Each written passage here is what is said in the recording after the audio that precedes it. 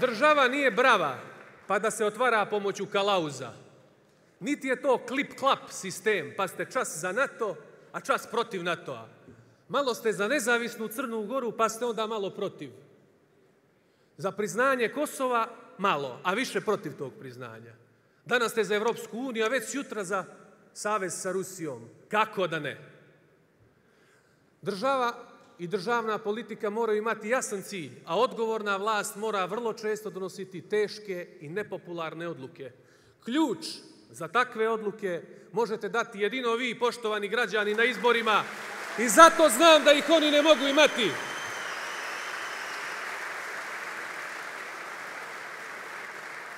A ne mogu do toga ključa ni ovi iz ove druge simpatične koalicije, milion po glavi lidera.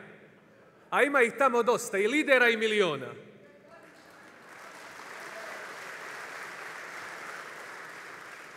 Njihove pobede su Crnoj Gori podele. I zato ih neće biti. Niti oni mogu do ključa, jer njihov ključ nije ovdje, on je negdje tamo daleko. Zamislite partiju koja danas, danas ne bi podjele, a nastala je iz četvrtog dijeljenja Momovoga SMP-a. I sad bi da pobjeđuju, samo ne znam kako, kad tu pobjeda nikad bilo nije.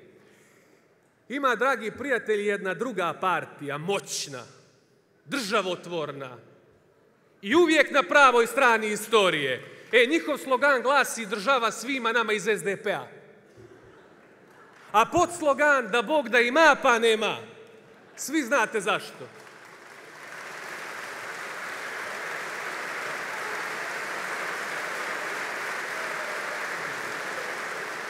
Poštovani moji budvani, dragi prijatelji, ne dajte se zavarati. Ovoga puta svi oni su u istom frontu. Frontu protiv njega. Ali on nije sam i u tome je njihov problem. Nije DPS Milo i 5-6 kumova i prijatelja. Svi smo mi DPS, svi smo mi on. I mnogo nas ima. Vidjet će 16. koliko nas je.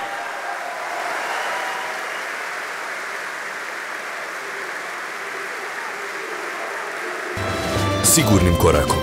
Demokratska partija socijalista Milo Đukanović.